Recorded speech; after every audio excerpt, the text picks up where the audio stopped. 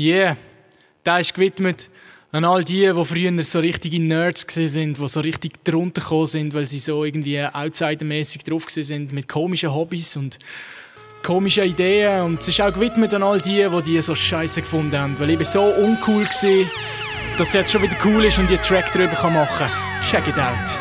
Uh.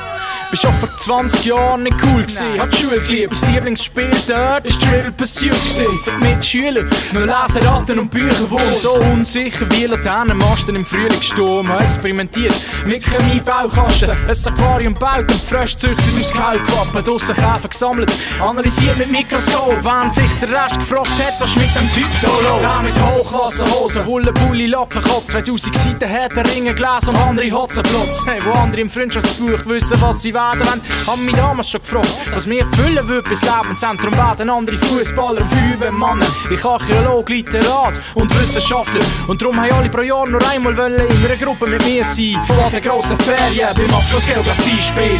Und kein Interesse kann, Händler heben, Flaschen drehen. Mehr drei zum Sternenzellen, PCs tunen, Lesezeichen. Hast später nicht begriffen, wieso die Mädels auf die Typen fliegen. Hast die Namen gewusst von Galaxien und Südseeinseln. Darum One Love vom Mineraliensammler, Hobby, Human, Biolog mit sieben Briefmarkenalben.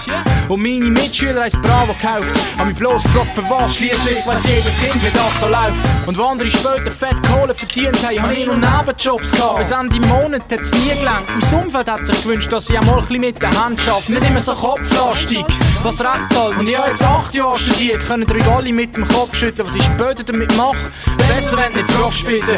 Und das Sechser im Masterdiplom habe ich locker geschrieben. Bleibt der Studie von Leiten. Ein Jahr habe ich den Doktortitel. Genau so war das etwa.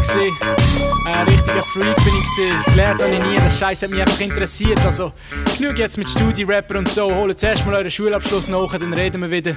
Yeah, peace out.